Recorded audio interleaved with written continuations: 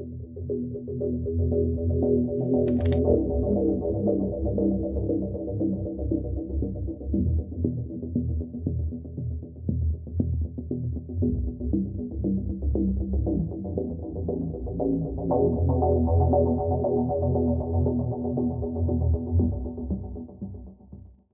أحد صانعي الإنجاز الإفريقي سنة 1976 في إثيوبيا.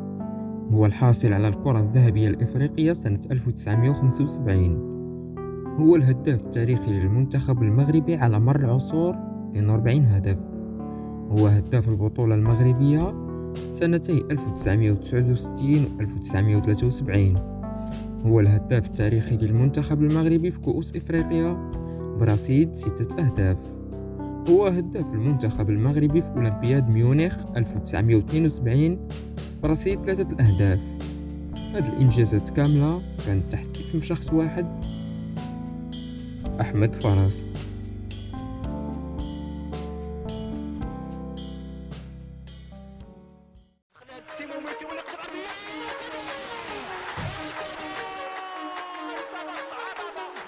dans les 16 mètres, Yagoubi et le but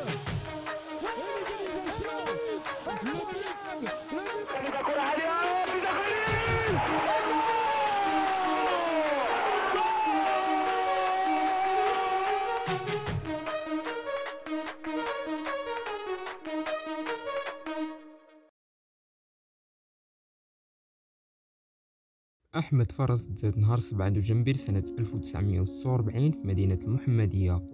هاد المدينة اللي اختار يبدأ فيها مشواره الكروي وبالضبط في نادي شباب المحمدية واللي لعب فيه من سنة 1965 حتى 1982 وحقق معاه لقب البطولة الوطنية سنة 1981 وحصل على لقب هداف البطولة مرتين سنة 1969 و 1973 برصيد 16 هدف.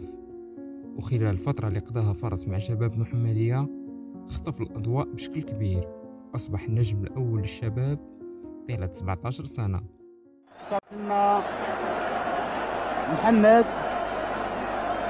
محمد عند عبد الإله أو فعلا عند عبد الإله.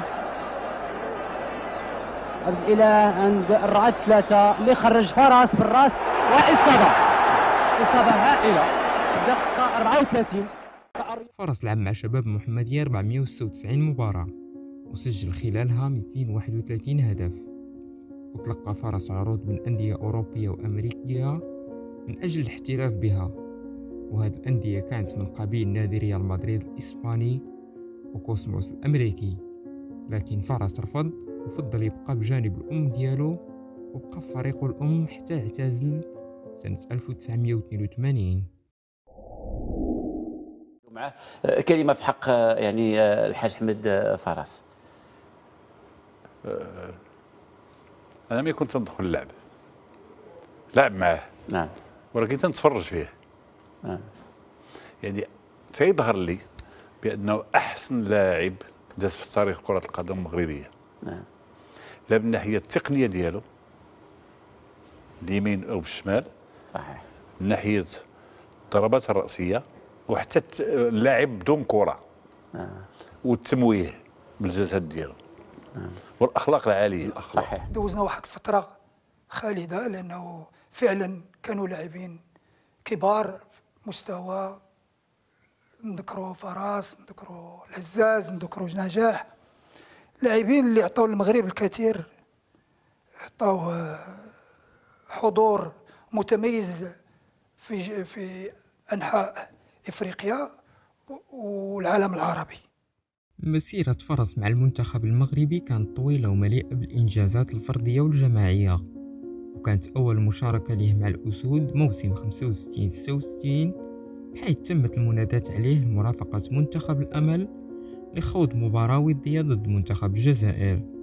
وبعد أسبوع أو أسبوعين لعب أول مباراة دولية ليه مع الفريق الوطني الأول ضد سويسرا في مباراة ودية.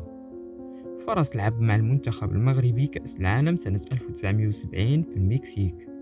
ومن بعد ست سنوات وفي سنة 1976 بالضبط ساهم بشكل كبير في تتويج المنتخب المغربي بكأس أمم إفريقيا في إثيوبيا.